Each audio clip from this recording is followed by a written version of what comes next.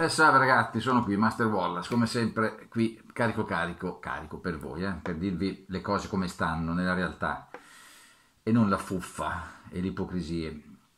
Dunque l'argomento di oggi è questo, poi farò un accenno breve a un'altra, un'altra cosa, anzi prima farò l'accenno breve e poi vi parlerò dell'argomento principale che è questo. L'argomento principale è perché molti natural diventano seguaci di guru dopati? Eh, eh, se ci pensate bene, questa è una bella domanda, perché effettivamente accade esattamente questo. Ecco, vi dirò i meccanismi eh, psicologici, psicologici, che stanno dietro a queste scelte scellerate, mm, detto proprio chiaramente. Allora, no, l'altro argomento è questo.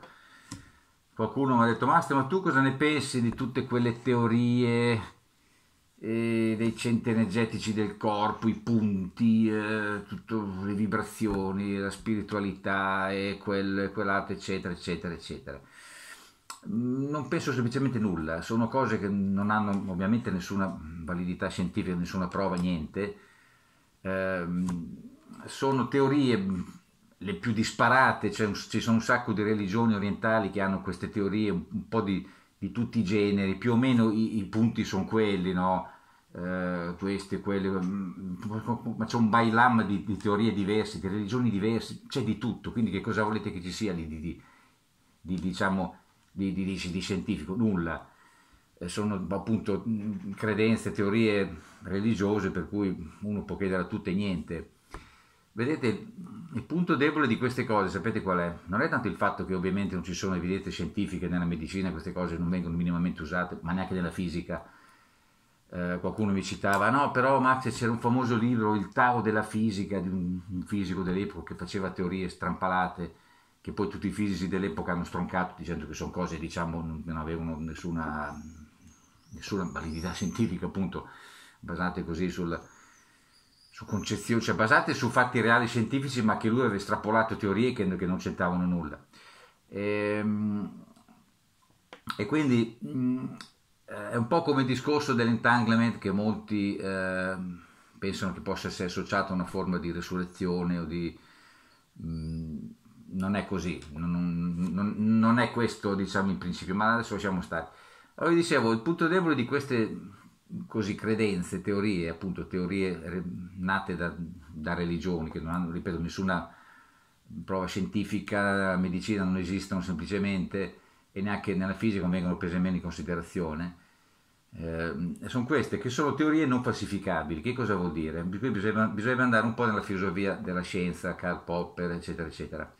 Vedete, una teoria per essere, diciamo, valida deve avere una controprova, cioè deve essere falsificabile. Se non lo è, vuol dire che mh, può essere tutto il contrario di tutto. Cioè c'è una logica dietro che ci dice che una teoria per essere confutata deve essere anche falsificabile.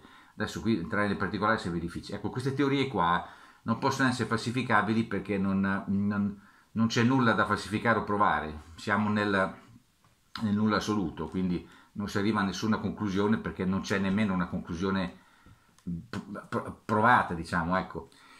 Quindi riflettete un po' su queste cose, certo uno può chiedere a tutto, eh, siamo in libertà, ci mancherebbe, però voglio dire, bisogna stare anche un po' i piedi per terra. Eh, vi dico anche che ci sono, usciti, ci sono dei siti scientifici, anche medici, dove tutte queste teorie, cioè sono tante, vengono prese tutte in considerazione e vengono letteralmente catalogate come fake news. Poi se qualcuno ne parla qui e le vuol diffondere, ok, va bene, magari ci sta, però che uno poi le prenda per vere, magari anziché fare terapie mediche che possono avere un'efficacia reale nelle malattie, si mette a fare queste cose qua, attenzione perché può anche finire male, ed è già successo, ok? Mi fermo qua. Allora, perché i guru natural, no scusate, perché i guru dopati hanno molti seguaci natural? E eh, questa è una cosa interessante, cioè che cosa si vede in genere? Si vede un, si vede un tizio bombarolo, può essere chiunque, uno noto o meno noto, influencer noto, non noto, campione, non campione, che hanno un seguito di gente che li segue perché crede in loro, eh, perché fisicamente sono quello che sono, no? perché poi è tutto qui il segreto, è tutto qui la, il segreto della, della fuffa. Mostrare un certo tipo di fisico irreale che non esiste, ehm, e far credere che questo fisico è merito della loro sapienza tecnica. È tutto qui, ragazzi, è tutto qui, è il, è il meccanismo proprio del marketing anche delle truffe generali, no? Cioè vi fanno vedere, per esempio, non so, un prodotto che fa un effetto miracoloso, no? Uh, loro diciamo se questo è l'effetto è incredibile, lo vogliamo anche noi, in realtà l'effetto non c'è, non esiste. Quindi credendo che questa gente abbia una, una, una, una, una credibilità tecnica, e che possano diventare come loro, seguendo quello che loro dicono, perché il ragionamento è questo, se lui è diventato così, facendo le cose che dice, anche noi possiamo farlo, no? È, è questo diciamo il percorso molto semplice e banale, da A a B, che è, è, per quanto è banale ma per quanto è efficace e per quanto è falso. E quindi cosa succede? Seguono quello, intanto lo, lo ammirano tantissimo, i complimenti si sprecano, sei incredibile, sei fantastico, sei la nostra guida, tu sì che ne capisci, bravo. Poi, poi tra l'altro, ecco, questi, questi, personaggi sono anche bravi nel, ehm, nel, mettere in mostra delle doti che in un natural possono anche avere un senso e, e, e ce l'hanno, per esempio, non so, la, la, costanza, l'abnegazione, lo spirito di sacrificio, no? Che in un natural contano tantissimo, nei dopati no, però loro dicono che queste cose loro ce le mettono, perché eh, questo impegno continuo, allenarsi di continuo, tutti i certosini, i pasti, e la motivazione, poi sono i video no? che sono là tutti concentrati, di adrenalina, oh, oh. e quindi c'è questa immedesima, vengono immedesimati in questa, in questa eh, rappresentazione anche di doti umane, di qualità umane, che eh, rinforza la credibilità del soggetto, che in realtà è tutta basata sulla falsità. Quindi loro cosa fanno?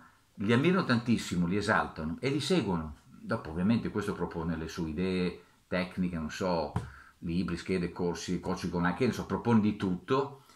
Eh, ovviamente mh, qui poi abbiamo due categorie, ci sono quelli che, i bombaroli che sono bombaroli, quindi fanno credere diciamo in natural che possono allenarli e magari gli danno anche delle, una forma di coaching, di allenamenti natural che non contro nulla, perché dato che loro non sono natural, quindi dicono cose che loro non hanno mai fatto, le propongono e questi qui seguono queste cose ovviamente non, non, non diventeranno mai come i campioni quindi già questa è la, la, prima fregatura comunque quantomeno si allenano in modo natural anche se ripeto eh, lui non l'ha mai fatto no?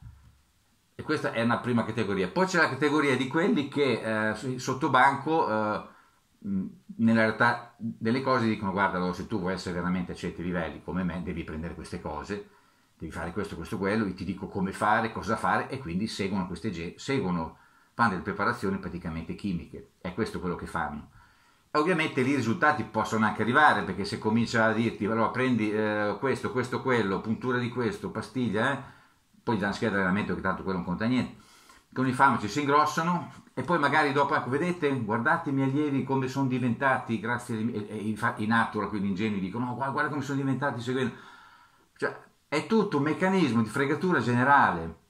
Per cui, cioè, un natural che segue un guru dopato sarà sempre fregato, in tutti i sensi, eh, perché non potrà mai ottenere quello che lui ha ottenuto grazie alla chimica e è bene che vada comunque se gli propone schede veramente da nato, allenamenti da nato, preparazioni da natura, cioè ancora una volta non otterrebbe nulla, ma proprio nulla da, da, da queste preparazioni oppure potrebbe cadere nella trappola che gli fa delle preparazioni chimiche di doping.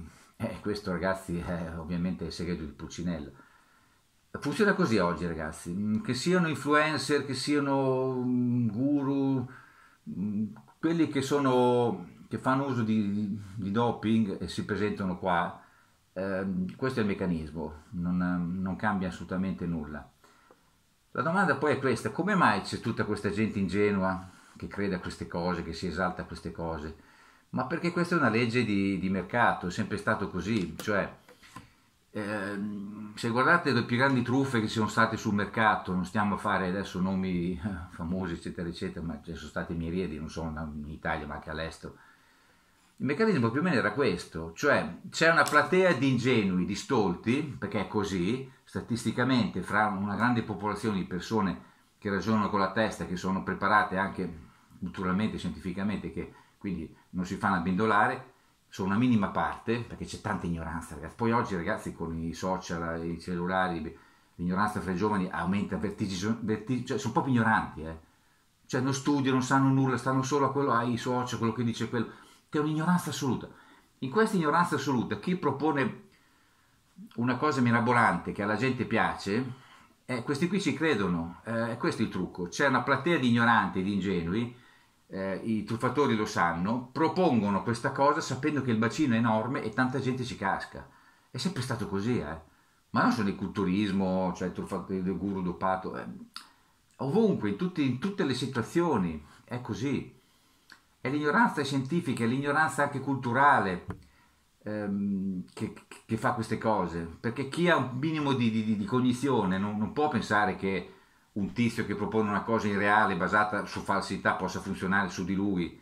Come fa a pensarlo? Eppure è proprio così. E questo è il nostro mondo, ragazzi. Il nostro mondo è, è fatto così. È, guardatevi in giro, guardatevi in giro, ragazzi. È così. E allora, ovviamente, noi più che dire le cose come stanno, altro non possiamo fare. Non è che cambieremo niente. Eh.